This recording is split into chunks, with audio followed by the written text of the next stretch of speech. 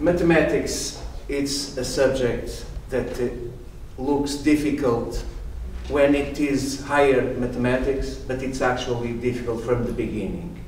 I mean, counting this thing, you don't see that thing. Okay, that's a counting with fingers, okay? And then we have numerals. And then we have the Three Stooges. You are all very young, you don't know who they are. and then you have the Marx Brothers. And you have football players. It was a very well-known line of attack of Sporting Lisbon. Well, it, this picture that is here, it's not easy mathematics. So the teaching of mathematics is not easy from the beginning. And so that's, this is usually what people see when they look at mathematics and say it's difficult. because it's that mess, okay? But math mathematics, it's really difficult, and that's why it's interesting. I mean, it's not why, it's part of being interesting, is being difficult. Otherwise, it, it wouldn't be. I mean, nobody plays, nobody in this room plays tic-tac-toe, right? Play chess or, or some, other, some other games. But mathematics is much richer than the mathematics of our world. And I usually give a few examples. As you know, Japan closed the borders for 250 years. And during that period, without contacts with the, the, the, the, outside world, the mathematics of Japan evolved in a different way. And it's not right or wrong, it's just different. So the mathematicians, like John said, they are greedy, they are worse than greedy. So they think they make universal truths that must be seen the same way all over that is wrong. I mean, this kind of sangaku, these are pieces of wood that the Japanese used to hang in temples, offering to the, offering to the gods geometrical problems with solutions. Okay? This tradition, the methods of resolution and so on, they are called sangaku, they are different from the mathematics in the West. They, for instance, don't define a, an ellipse as a section of the cone, but as a section of the cylinder for instance, but lots of, of other different things. It's not a matter of being right or wrong, it's a matter of being different. And appreciation of other cultures is one thing that mathematics actually enables us to do. I also like very much this example, but you all know maps and what they are good for, okay? This is kind of a Nisi Mercator map Mercator map, so it has, of course, the poles extended and so on. You cannot project uh, exactly a sphere on a plane. So you have some mathematics here to make it understandable. You all know this map. this map is beautiful, but it's a big lie, okay? Because the things are not where they're, where they're supposed to be in the map. And I can show you that the truth and the lie. You see, this is what mathematics does. And we like very much this, we understand, and lots of people think, oh, of course, I'm here, so in the map, so this must be exact place above me when I'm in subway. It's wrong. And it took a long time to produce uh, such a map. It's beautiful, it's sophisticated. There are books and books written about this, this art of making uh, subway maps. And uh, this, the, does anybody know what this is? Yeah. This is a thing made with the little sticks that was found in Marshall Islands, lots of them. And the anthropologists didn't, didn't know what, what they were. They thought they were things to charms, to good luck or something like that. The, actually, the Marshall Islands, I don't have I don't have here, but the Marshall Islands are lots of little islands in, in the ocean. And what happens is that if you use a map like we use in the, in the Western world, like the maps that help the Portuguese go down Africa and so on, it, it wouldn't work. It's too many little islands. You would go fishing in the morning and you would never come back home. Okay? So what they did is they make these things that show the patterns of the waves. And when they are in the water, they see how those swells, how they move, and they know, oh, I live there, my grandmother lives there, so I go left. Okay? So it, it's a fantastic thing. Again, it's a technique that was produced with, the, with mathematical thinking to solve problems. That's what mathematics does. Different cultures, different necessities, different outputs. It's not right or wrong, it's different. It is enriching to, to see these things. Of course, games and puzzles. This is a puzzle from, lots of you know this puzzle, Chinese rings. They, they're called Chinese because they are difficult, not because they are Chinese. The first description is from an Italian mathematician around 1500. Uh, mathematicians all know this puzzle, the bridges of Königsberg, Kaliningrad today, a, a, puzzle that the mathematician solved in the 18th century, and while solving it, created a big area of mathematics, graph theory. This puzzle, a little puzzle, a question whether you can or cannot go through all the bridges once and only once. There are seven bridges there, there are two islands, and there's, that was the situation. This is another famous puzzle from an Irish mathematician, Hamilton. Uh, also related to graph theory, it, it, created with this puzzle another area of mathematics called Hamiltonian graphs. Actually, to decide whether a, a, graph is Hamiltonian, if you can visit all the vertices once without repetition, is a much harder problem than the one of visiting the bridges, the, the, the edges. Much, much, much more difficult. Another utilization of mathematics. This is uh, art of the pavement of Lisbon. I don't know if you have been to Lisbon, but we have a traditional way of paving streets and, and squares and so on. And of course we have patterns. And the patterns can be studied mathematically. And uh, there are seven, essentially seven ways of making a sidewalk and 17 ways of making a, a, a plaza. Uh, the ornamentation structure, not the motive. The motive can be a flower or a fish or whatever. But what is underneath, the structure of, of, of the thing, we know it. We mathematicians know it well. So it's a cultural mark of a place, okay, that only mathematicians can see. You can look at the ornament itself. Here is the, the ocean, of course, but we know the symmetries of the pictures and so on, and so we can identify. So we can use mathematics to help anthropologists, to, to, to help artists, to help understanding people, human people, because one of the bad things of mathematics is that usually it narrows the mind of people. Okay, it's like uh, Feynman used to say: a, person looks at a flower and sees the each petal as a surface in 3D, whatever. That's nonsense. A flower is much more than that. And mathematics should bring something to add, not to subtract. Okay, so if we are mathematicians, if we have the, if we are lucky enough to understand some techniques and something, we should use it for the good, to add, not to subtract. Okay? Uh, oops, this jumped very fast. Well, this is another case of symmetry, of course, you know, is Escher, is a tiling of the hyperbolic uh, space. It's very interesting mathematically, it's very interesting um, artistically.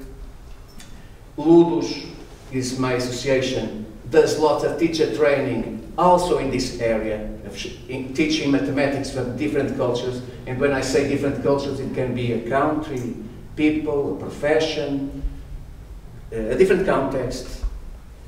And of course, games. That's what brings us here. The, as John said, we in Ludus we use different games from chess. We use this kind of games. Games, intellectual games, strategic games, chess, Go, even this boring Nine Men's Morris or something. These, these are all games that uh, fall within things that we do, okay? Um, this is our championship. One picture of our championship the final. You have maybe 400 kids there playing at the same time. You have silence in the room. They are thinking hard. They are doing a difficult thing. And, no, they are there because they want to be there. So we math teachers, we know how difficult it is to, to replicate this situation in the classroom, right? So the games, they have something about them. And the, the games, immediately, they foster abstract, rigorous, and creative thinking. And this is the way that we think the games help without messing with the curriculum. Okay? It's the, the process of thinking is the same in abstract games as the mathematical thinking. You have rules, you cannot go outside of the rules, but you have to be creative to beat your opponent. So it's this tension that makes a game very interesting, like mathematics is exactly the same thing. And then there's this attitude that uh, everybody that was in a chess club learned. I learned, and uh, all the kids in Portugal learn. When we play games, is this principle I never lose. Either I win or I learn. Because if we lose a game, we go study and see where we made, we made a mistake. We look for at least one mistake we made. Okay? And this is what, uh, it, this, is, this growth mindset, uh, it was here that I heard about this theory of uh, Carol Dweck about mindsets, growth mindset, fixed mindset. It's very important to have the kids uh, with growth mindset, willing to learn, not being afraid of making mistakes, of losing, and so on. Taking the opportunity of a loss to learn. It's very important, and games are perfect for that. As you probably, everybody saw, a kid playing video game, say World of Warcraft or something like that. A very difficult game. The kids play, the kids die, the kids come back, and after two weeks the kids play very well, a very difficult game. Okay, so they come back, they don't give up, which is exactly what we want to do. This is my course at university. I created a course of history of board games. It's very successful, of course. In half of the class, each session, uh, half the time I talk about the game, history and culture of the game, and then the rules of the game, and then they play. Here they are playing a game that comes from uh, uh, Mesopotamia, is maybe 5,000 years old, this game. There are lots in the British Museum, there are several in the British Museum. Very nice. Here is replicas that, that I made. So it's culturally, it's very interesting. We, it, it, we are the editors of this board game studies journal. It's free online. You can just Google. It's very, very interesting. It's already in the 10th edition or something, one issue a year. Now, how do we choose the games? And here, there are some parameters that we have to choose our games. We have several games that we uh, teach the kids. And of course, chess, uh, chess is good in all parameters that we have. The first is depth. Depth is what we, sh I show here with this thing. I mean, if you have uh, this system that everybody knows, uh, a green belt beats consistently a white belt. Like a 2500 Elo player beats consistently a, a 2000 Elo player. Okay? And so chess is good, it has lots of levels, which makes it possible for people to play the same game, chess, all, all their lives. They're always improving. They always have uh, opponents that make the thing interesting. It's very important. It's not like tic-tac-toe. Either you know how to play it or you don't. And if you do, you don't play it again because you know the result right? Uh, clarity is a second important aspect of games. Clarity is, uh, you all play chess, I guess, so when you are playing a game and you are in a tournament, there are other games going on, you stand up, you look at another position, and immediately you have ideas. And you see queen g5 and the sacrifice or whatever. I mean, th that ability to see things, to see threats, plans, and so on, is what we call clarity. I don't know if you are familiar with this lines of action game. It's one abstract game that is very uh, ugly game. It's very it's difficult to play. The computer scientists like it a lot because it's a, it's a very demanding game. Uh, essentially, each piece moves uh, orthogonally or diagonally the number of squares given by the number of pieces in that line. And you can capture if you fall on top of, a, of an opponent piece, you capture. But the, the goal of the game is to have all your pieces connected. So it's a very difficult game. And it's not only difficult, it's obscure. And uh, of course, chess is the, is the opposite. You see here a position, and I'm sure you have lots of, of ideas immediately. Knights jumping, there's, I think, a, a checkmate in one move, and so on. It's chess again, but chess is a magic game. I think there's something special, really, among the abstract games about chess.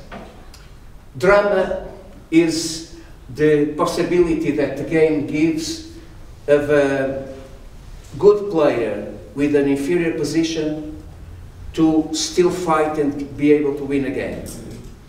And uh, these games, like chess and Go, have lots of drama, and this is an example that actually happened with Alekhine, or as my wife says, Alekhine. uh, Alekhine was playing this game with white pieces, and uh, you see there's a threat of queen h8 uh, checkmate, and if the, the black defend with g6, the white queen can check first in h7, and then give, sacrifice itself in h8, and give a checkmate with the rook in h8. So the black, the, the man that was playing black, resigned. And Alekhine said, don't resign, we switch colors. I play black. And he played black. And he played rook h4. And he played rook h4 and now the poor guy was playing white. He has three ways of capturing the, the rook. If he captures with the knight, the queen, uh, how is it? The queen threats here the, this checkmate, right? And the king goes away and the queen checks and wins the rook. And the other possible captures are all bad. And uh, he thought, well, if I capture the, the, the, rook, he plays, this thing doesn't work here, queen c3, threatening that mate in, in, in b2, which is terrible. And so the guy quit again. And again, Alekhine told him, well, switch, switch colors. And he switched and he played knight, knight h4 and captured with the knight. And sure thing, the guy, again with the black pieces, he tried this line of the, this thread. And of course, Alekhine uh, sacrificed the queen in h8 and, and gave a mate